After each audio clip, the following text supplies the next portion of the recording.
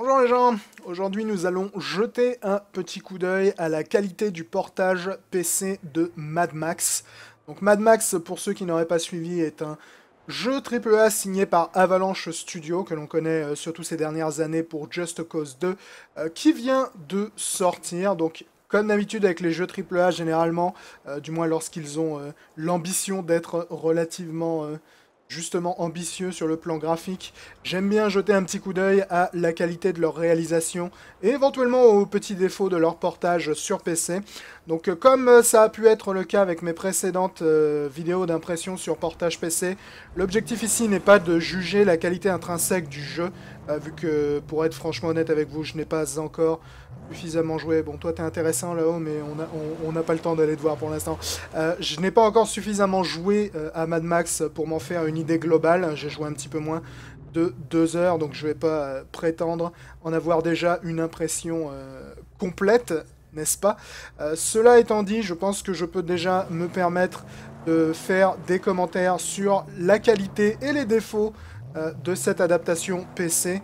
Euh, donc on va évidemment jeter un petit coup d'œil à tout ce qui est réalisation graphique, à tout ce qui est ergonomie, euh, afin de voir est-ce que euh, Avalanche, qui honnêtement a plutôt une bonne réputation à ce niveau-là, est-ce que Avalanche a fait du bon travail pour porter ce jeu sur PC donc déjà, comme vous pouvez le voir, évidemment, qui dit jeu Mad Max dit jeu dans le désert avec des voitures un peu déglingo et un avatar pas moins déglingo. vous pouvez voir, évidemment, on peut jouer en voiture et sortir de la voiture si vous voulez voir la tronche de Mad Max. Euh, il s'agit euh, d'un jeu en monde ouvert, donc en fait tu as une multitude de, territoires connectés les uns aux autres euh, qui vont te permettre de circuler un petit peu librement et de, faire un peu ce qu'on qu'on fait généralement dans, dans, les jeux de ce type moderne. Tu vas trouver, tu vas trouver des, des objectifs qui vont être Salut toi Tu vas trouver des objectifs qui vont être tout à fait euh, procéduraux dedans, donc par exemple des bandes, des, euh, des euh, bases d'ennemis que tu vas pouvoir attaquer. là par exemple cette espèce de gigantesque feu là, si je le détruis ça va réduire la... Ouais, c'était pas vraiment idéal. On va peut-être essayer au grappin plutôt là-dessus. Euh, ça va réduire la présence euh, des, méchants euh, de, du jour dans la région. Donc c'est un jeu qui évidemment a son scénario mais qui est avant tout basé en monde ouvert. Et évidemment d'un point de vue réalisation c'est... C'est toujours une ambition qui est risquée le monde ouvert. Il y a beaucoup de jeux qui le font très bien. Euh, je pense notamment à GTA, je pense notamment à Mordor euh, récemment, Shadow of Mordor l'avait plutôt bien fait. Euh, et il y a beaucoup de jeux qui le font également très mal. Donc c'est évidemment important sur le plan technique de voir comment ils sont démerdés avec le monde ouvert. Alors déjà, la première remarque, je pense qu'on peut faire d'un point de vue de la qualité de ce portage sur Mad Max, c'est que c'est indéniablement un jeu qui est très beau. Hein. Euh, d'un point de vue technique, la réalisation est bonne. Euh, c'est probablement pas le plus beau jeu ni le plus beau monde ouvert euh, qui est sur PC. Je pense que cette référence est encore entre les mains de The Witcher 3 à l'heure actuelle, mais c'est clairement un jeu qui est beau. Il n'y a, pas à dire. Je dirais également que au-delà de la simple, disons, décidément, on va pas me foutre la paix. au-delà de la simple réalisation technique, je dirais que c'est également un jeu qui artistiquement est vraiment pas mal. Ils ont fait un un joli effort, je trouve. Euh, tu veux pas sortir de ta case, toi, qu'on règle ça euh, Non? Tu veux pas euh, Ils ont fait un, bel effort, je trouve, pour donner un côté très destroy à la palette de couleurs, je trouve. Le, côté très rouillé, très criard, je le trouve vraiment très réussi. Ah, tu fais moi le malin quand t'es plus dans ta caisse, hein? Ah, Tu fais moi le malin, là. Fais des petites roulades. Voilà. Tu vas me laisser parler, oui donc euh, ouais, je trouve qu'ils ont fait un, très beau boulot sur la direction artistique. Euh, d'un point de vue réalisation, c'est comme je l'ai dit un jeu qui est très beau. Euh, la skybox, donc pour le ciel, est vraiment classe. le désert est vraiment très très stylé. J'espère qu'on va peut-être avoir une tempête de sable pendant la vidéo. Alors malheureusement, elles sont un peu imprévues, donc je peux pas nécessairement les voir venir. Parce que les tempêtes de sable sont vraiment assez splendides, je dois dire. Donc du point de vue, disons, de, de l'ambition déjà, euh, graphique du jeu. C'est un jeu qui est clairement euh, bien réalisé, ça ne fait aucun doute. Et comme vous l'avez déjà probablement remarqué également euh, depuis euh, tout à l'heure que je suis en train de, tourner un petit peu en rond sur ce petit lopin de sable là, c'est également un jeu qui tourne vraiment très très bien. je dois dire que probablement de tous les jeux AAA que j'ai pu inspecter ces derniers mois et même probablement sur l'année passée, c'est probablement le, jeu qui tourne le mieux, je dirais. C'est non seulement un jeu qui maintient un framerate élevé, mais qui en plus euh, ne, ne se laisse vraiment pas intimider par grand chose. Il y a une tempête de sable qui arrive, le jeu on a absolument rien à secouer, tu perds pas une image par seconde. Euh, à ce niveau-là, il n'y a vraiment pas grand chose à dire.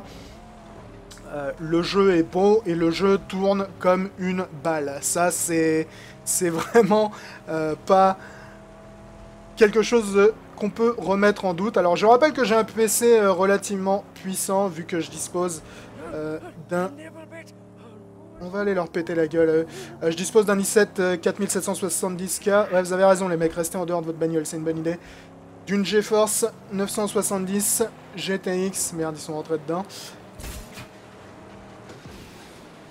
Et de 32 Go de RAM. A noter que je suis toujours sur Windows 7, hein. j'ai pas encore euh, passé le cap à Windows 10, donc je ne peux pas vraiment me prononcer pour savoir si le jeu tourne bien sur Windows 10 ou pas. Mais euh, vraiment, j'ai eu aucun problème de framerate sur le jeu. Il tourne euh, comme une bombe de balle. Il n'y a vraiment pas de souci. Euh, je crois que même Shadow of Mordor, qui pourtant tournait vraiment bien à la sortie, je crois que même Shadow of Mordor tournait pas aussi bien. Donc évidemment, là-dessus, on ne peut qu'applaudir les développeurs. C'est du bon boulot. vous avez un framerate qui va être extrêmement élevé à tout moment.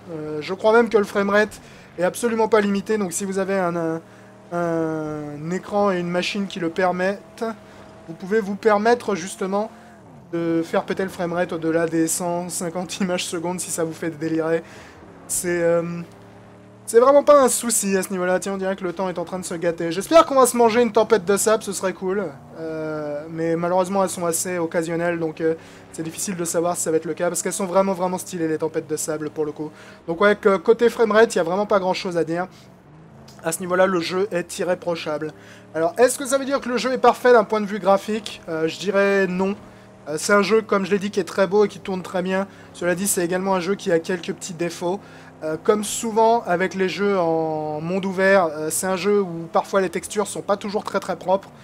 je pense notamment à certains endroits sur le protagoniste, ce qui est vraiment un peu dommage, parce que bon, le protagoniste, c'est un peu le mec ah, tu fais moi le malin, sniper, là.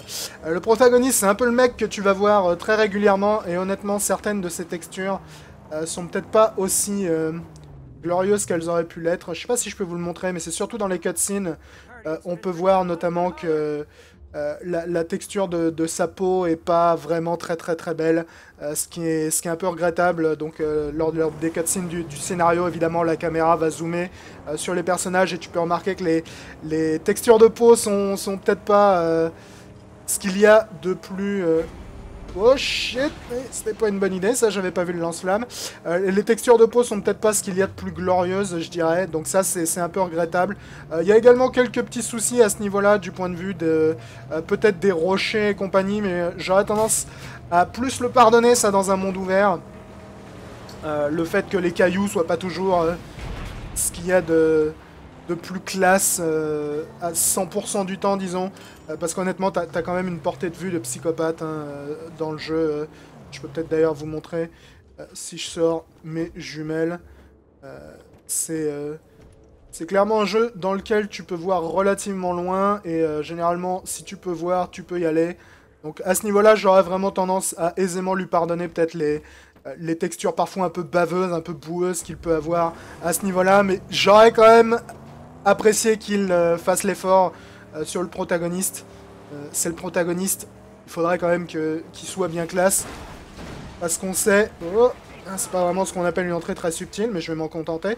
Euh, on sait évidemment que le protagoniste, on va le voir, détonne dans les cutscenes et compagnie, donc c'est évidemment le mec sur lequel tu ne peux pas te permettre de pas avoir des belles textures. Donc c'est pas un gros problème, je dirais, mais c'est quand même suffisamment euh, significatif pour que je l'ai euh, immédiatement remarqué dans les cutscenes.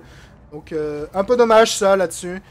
que, que, les textures du, du protagoniste n'aient pas été peut-être un peu plus soignées. Alors après, tu peux modifier ton apparence au fur et à mesure du jeu en débloquant davantage de tenues. Ah oui, ça fait très très mal ça. En débloquant davantage de tenues. Donc euh, peut-être c'est pour ça qu'ils ont euh, pas nécessairement pu travailler autant qu'ils le souhaitaient euh, sur, sur les textures de, Max. Mais c'est vrai que c'est un peu regrettable que, que Max soit pas irréprochable à ce niveau-là. J'aurais vraiment apprécié une réalisation parfaite sur ces textures. Mais honnêtement, globalement, euh, je dirais que sur un monde ouvert, il, s'en sort quand même vraiment pas mal du tout. Là, vous pouvez voir, même les textures de tissu au-dessus sont pas nécessairement les plus détaillées de l'univers, mais sont pas dégueulasses du tout. Euh, les, mondes ouverts, c'est toujours plus compliqué hein, d'avoir des, textures à gigaclass. Là, vous pouvez voir la texture sur son bras, elle est un peu, un peu cradingue. Euh, c'est un peu regrettable euh, sur lui, mais sur le reste du monde, j'aurais tendance à dire c'est vraiment pas un problème. Alors un autre commentaire du point de vue euh, de la technique que j'aurais tendance à faire une fois de plus sur notre protagoniste. Je trouve que ses animations faciales sont un peu décevantes également. ce qui, une fois de plus, est évidemment problématique vu que, comme c'est le protagoniste, c'est lui qu'on va voir le plus faire justement des animations faciales dans les cutscenes. Et évidemment, c'est c'est un peu dommage qu'il soit pas... Euh, tiens, il y a des renforts qui sont arrivés, donc. Euh, c'est un peu dommage qu'il soit peut-être pas euh, mieux animé que ça. Ça mec? J'ai une arme, tu veux que je la teste sur ta gueule? Allez, viens voir, ça fera pas mal, promis. Promis, ça fera pas bobo du tout. Non, tu veux pas faire le tour du gros pic? Donc ouais, les animations faciales de Max, je les trouve un peu bof. Euh... Oh, ça va être bon ça. Euh, je les trouve un peu bof ces, ces animes faciales. Euh, il, a un peu une tête de poisson mort, euh, un regard sans vie. Alors après, évidemment, c'est Mad Max, donc le fait qu'il ait un regard sans vie est peut-être pas ce qu'il y a de plus étonnant, mais je, le trouve un peu quand même inexpressif, disons, sur, la plupart des cutscenes, ce qui, ce qui est un peu Dommage, surtout que ces derniers euh, mois et ces derniers jeux AAA, on a quand même vu un bel effort sur les animations faciales euh, généralement. Et j'aurais bien apprécié également que ce jeu le fasse d'un point de vue technique. Donc ça, c'est un autre de mes regrets. Ouais, je sais même pas pourquoi je te garde, toi, honnêtement, mon vieux. On va boire un coup pour se redonner un peu de vie là-dessus. Donc ouais, un autre de mes regrets d'un point de vue technique, ça. Et enfin, je dirais mon ultime, peut-être, euh, problème d'un point de vue technique avec Mad Max, c'est, et vous l'avez peut-être remarqué, l'anti-aliasing. Donc le jeu dispose d'un anti-aliasing, mais c'est un de ces anti-aliasing dans lequel tu as le choix entre euh, oui et non. C'est-à-dire tu peux pas choisir quel type d'anti-aliasing tu as. Donc j'imagine que c'est du FXA. Et comme beaucoup de gens le savent, le FXA c'est pas idéal. Et comme vous le remarquez, sans aucun doute sur certains détails, euh, il y a un peu plus d'aliasing que je ne saurais le supporter, ce qui est un brin euh, regrettable. On peut le voir notamment sur les barrières, généralement lorsqu'on on s'en approche ou qu'on s'en éloigne. C'est un peu gênant. Alors évidemment, c'est un problème qui est euh, rarement fatal sur PC, euh, vu que la plupart des euh, constructeurs de cartes graphiques te permettent, grâce à leur logiciel, généralement de coller de l'anti-aliasing par-dessus. Et honnêtement, c'est typiquement le genre de jeu dans lequel je vous conseillerais de le faire. utilisez votre GeForce Experience ou peu importe comment s'appelle le truc de ATI qui sert à la même chose pour euh, peut-être coller un... Oh, le suplex, c'est bon ça euh, Pour coller un peu de... D'aliasing, euh, d'anti-aliasing, pardon, non, coller de l'aliasing ce serait pas une bonne idée. coller un peu d'anti-aliasing supplémentaire hein, sur le jeu. Honnêtement, comme c'est un jeu qui tourne comme une balle en plus, il est fort probable que votre PC puisse le se le permettre. Donc, il n'y a, a, vraiment pas de raison de se priver. Le hurleur, où est-ce que t'es? T'es là-haut, mais où est-ce qu'on te descend, mec? J'aime beaucoup le fait que lorsque... Euh, que lorsque t'as tué tous ses potes, ils, commencent à te parler. Le jeu est, assez bien fichu, honnêtement, à ce niveau-là, mais bon, rappelons qu'on est là pour parler de la technique. Donc ouais, l'anti-aliasing, euh, une fois de plus, c'est regrettable. Euh, c'est un peu dommage qu'il y ait de plus en plus de jeux récemment qui te donnent ce faux choix d'anti-aliasing entre oui et non. Euh, on a euh, le luxe sur PC, c'est délicieux la bouffe pour chien, on a le luxe sur PC euh, d'avoir une multitude d'anti-aliasing à notre disposition, et j'aurais vraiment apprécié que le jeu nous le permette enfin nous permettre pardon de, choisir celui que l'on préfère et celui que l'on peut se permettre justement. Parce que comme c'est un jeu qui, comme je l'ai dit, tourne vraiment comme une balle, en plus je pense qu'on aurait vraiment pu se faire plaisir sur l'anti-aliasing qui est parfois justement quelque chose que tu dois sacrifier au profit du framerate. Comme Mad Max tourne vraiment comme comme de la bombe, euh, j'aurais bien apprécié de pouvoir me faire plaisir là-dessus. Donc on va faire un petit détour justement par le, menu euh, de détails graphiques. Donc au passage, vous pouvez noter que les menus euh, sont en français. J'ai mis le jeu en français, le jeu n'est pas doublé en français. Donc c'est important à noter également lorsqu'on jette un œil à, un portage. Le jeu n'est pas doublé en français, il est simplement sous-titré. J'aurais tendance à dire qu'on y gagne probablement au change. Avouons-le, les jeux AAA ces dernières années, les doublages, c'est pas toujours ça. À choisir, je préfère avoir un jeu qui soit euh, qui te donne au moins l'option d'avoir les sous-titres en français et euh, les voix en anglais plutôt que de te forcer à, subir, disons, des, euh, des doublages français qui sont rarement d'une excellente qualité. donc à ce niveau-là, personnellement, j'ai vraiment pas de raison de me plaindre. Alors après, Peut-être que certaines personnes regretteront de ne pas avoir de voix française. Personnellement, je pense que ça ajoute d'autant plus à l'ambiance, vu qu'on a les bons vieux accents australiens qui se rajoutent par-dessus, euh, ce qui peut faire bien plaisir. Mais comme euh, je, parle euh, relativement bien anglais, pour moi, ça n'a jamais été un problème, ce genre de choses. Je pourrais tout à fait me passer des sous-titres, mais je les ai laissés pour le bien de cette vidéo. Donc voilà l'écran de détails graphiques. Alors déjà, une bonne chose que je voudrais noter, c'est que oui, on peut utiliser sa souris dans, les options, c'est très très cool. On peut utiliser la manette aussi. Euh, je note ça parce que récemment nous avons eu Metal Gear Solid 5 dans lequel on ne peut pas utiliser la souris dans les menus, ce qui est toujours une aberration assez euh, scandaleuse sur PC. Donc vous pouvez voir là euh, donc mes, paramètres graphiques. Donc le, jeu a pas mal hein, d'options graphiques, vous pouvez voir. Donc comme euh, vous pouvez voilà, le noter, il y a beaucoup de choses que l'on peut détailler. Alors j'ai même activé le, ce qu'ils appellent le flou cinétique en, français, qui est donc le, motion blur. Euh, généralement j'aime pas le motion blur, mais bon, vu qu'on jette un coup d'œil au portage, j'ai tout activé, histoire de, montrer effectivement que le jeu tourne excessivement bien, même avec tout à donf. Euh, petit détail, le jeu commence avec les détails en élevé de base pas avec les détails en très élevé. Donc si vous avez une grosse machine, le jeu va, démarrer en fait avec ces réglages-là. Donc n'oubliez pas de passer dans les options et de tout mettre à donf. Euh, je ne sais pas pourquoi, mais il y a certains jeux AAA ces derniers euh, temps qui euh, te mettent des pré-réglages qui ne sont pas à fond lorsque tu les lances. Et je trouve ça un peu dommage parce que généralement les gens qui achètent des gros jeux AAA sur PC veulent évidemment en tirer le plus d'un point de vue réalisation.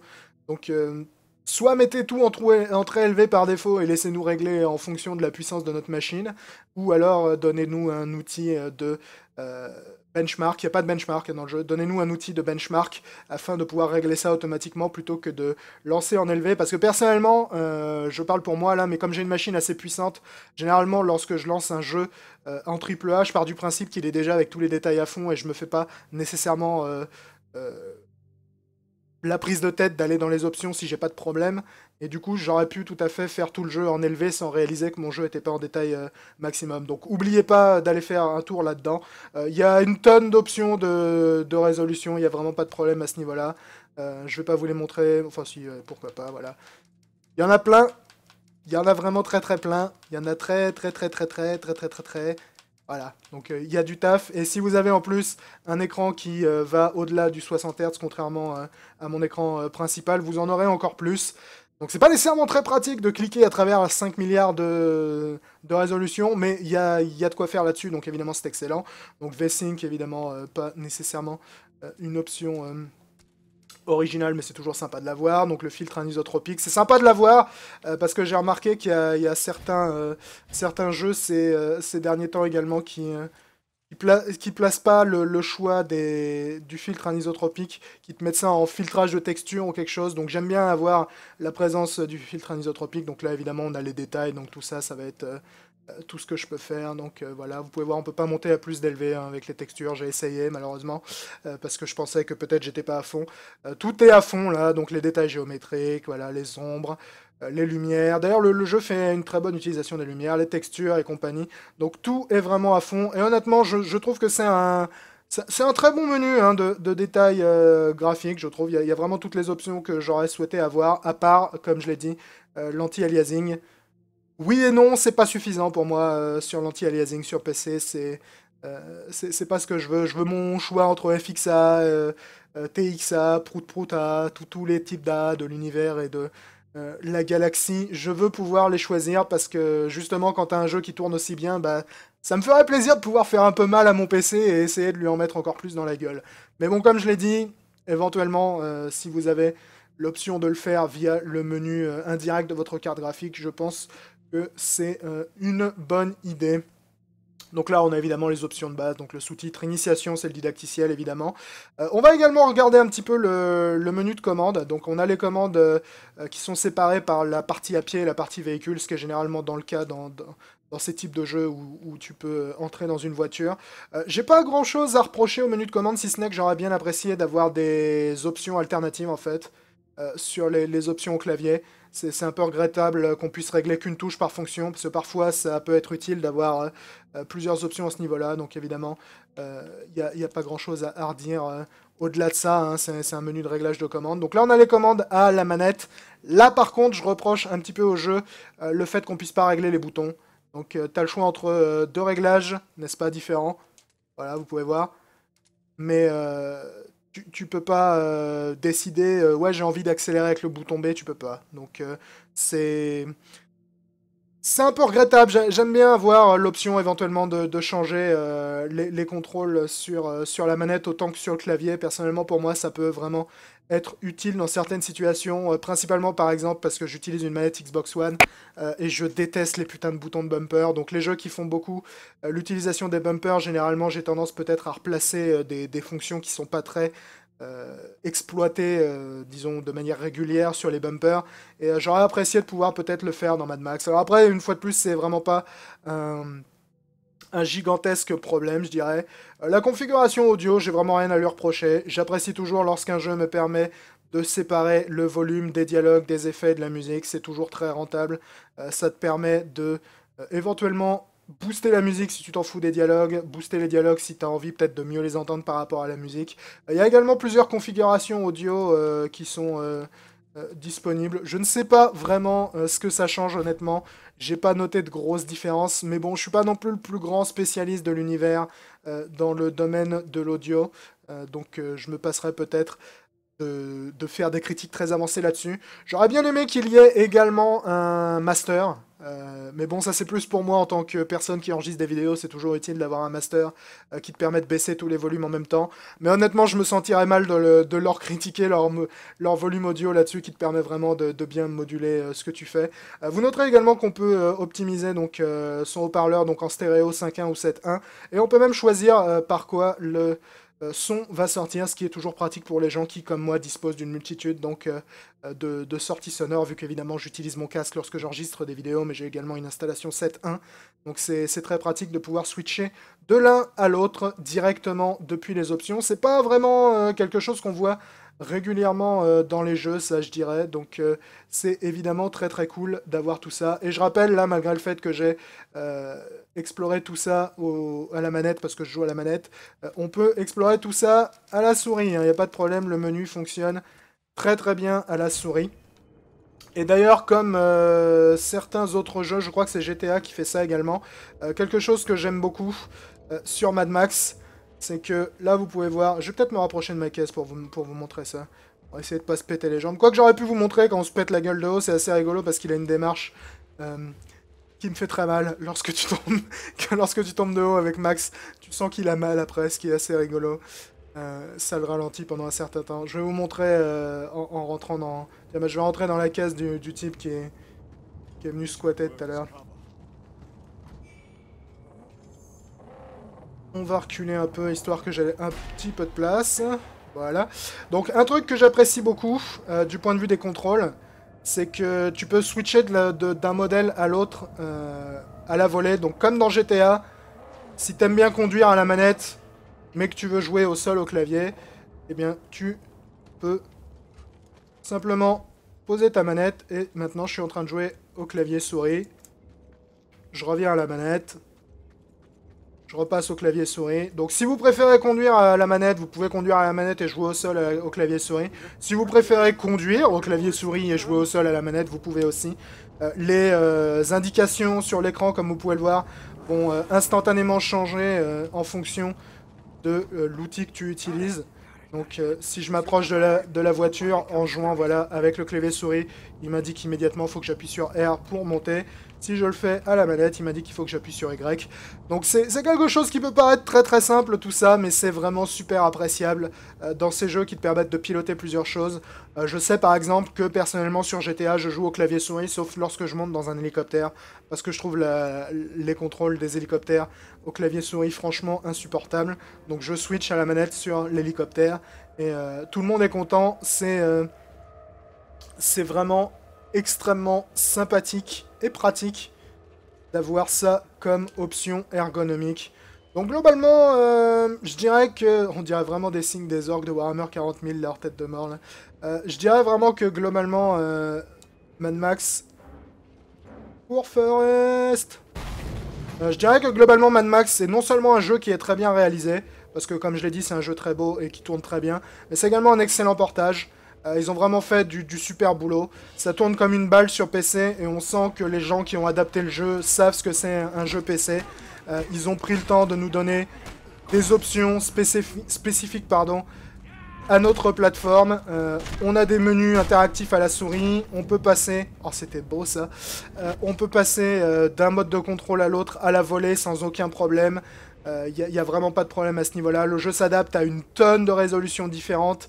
Euh, le jeu te permet de bien personnaliser tes graphismes d'un point de vue niveau de détail et compagnie. Même si honnêtement, je pense que si vous avez un PC de jeu relativement récent, il y a très peu de chances que le jeu euh, vous oblige à personnaliser des masses, vu que comme je l'ai dit, il tourne tellement bien que je pense que sur la grosse majorité des machines, ce sera pas un problème de le foutre à fond. C'est un mec, il a l'air confortable ton, super canapé. Euh, comme je l'ai noté, il y a quelques petits trucs que je lui reproche, quelques petites euh, textures un peu cradingues, euh, le fait que je puisse pas personnaliser mon anti-aliasing, mais, mais, vraiment, je dois dire que si je le comparais à la moyenne des portages PC qu'on peut avoir ces dernières années sur les jeux AAA, j'aurais quand même tendance à penser que Mad Max est clairement un jeu, disons, que je citerai comme exemple à suivre. Euh, j'ai, comme je, j'ai noté, j'ai quelques trucs à lui reprocher, mais vraiment c'est, c'est du pinaillage de, perfectionniste. Hein. C'est, euh, c'est clairement si, euh, s'il y a un exemple à suivre, je pense que c'en est tout à fait un. Le jeu est clairement, ben, c'est pas très pratique pour aller rejoindre mon échelle, là, mec. le jeu est clairement très très bien réalisé et très très bien porté sur PC. Donc si ça vous faisait peur, peut-être de le choper, parce qu'honnêtement, il y, a quelques raisons d'avoir peur, notamment parce que c'est un jeu édité par Warner Bros. qui est également auteur, n'est-ce pas, de notre ami Batman Arkham Knight, qui pour le coup était un peu un portage de merde. Euh, si vous aviez peut-être peur de refaire confiance à Warner Bros. là-dessus, vous inquiétez pas, Avalanche, ils ont fait de l'excellent taf. C'est un très bon portage. C'est beau, ça tourne, il y a plein d'options. Il y en a peut-être pas autant que je le souhaiterais, mais je suis un peu un troufion à ce niveau-là. Donc, euh... vraiment pas grand-chose à redire, euh, franchement. GG les mecs. Non, c'est vraiment pas ça que je voulais faire, mon vieux. Euh, GG les mecs, c'est un très bon portage, euh, ce, ce, petit Mad Max. Je regrette un peu qu'on n'ait pas croisé de tempête de sable pendant cette vidéo parce que j'aurais bien aimé vous montrer à quel point elles sont classes et à quel point elles n'influent absolument pas en plus sur le framerate, ce qui est vraiment appréciable et étonnant. Mais euh, vraiment, si vous cherchez un petit jeu euh, triple A qui va vous en mettre euh, pas mal dans la gueule quand même, parce que bien que ce ne soit pas, comme je l'ai dit, le plus beau jeu qu'on puisse jouer de nos jours sur PC, ça reste un jeu qui est quand même très beau. Mais si vous cherchez un jeu triple A qui puisse vous en mettre plein la gueule, sans nécessairement demander d'avoir une machine du futur, euh, pour tourner en détail élevé et avec un framerate constamment plaqué à 60 images secondes. Mad Max est clairement pas un mauvais choix, parce que c'est même un excellent choix. Voilà, ça fait plaisir de voir un bon portage de jeux AAA sur PC. J'espère que ça vous a au moins appris quelque chose. Ciao tout le monde. Ciao tout le monde, pas de chahut tout le monde. Enfin, vous pouvez faire du chahut si vous voulez aussi. hein. Ciao tout le monde.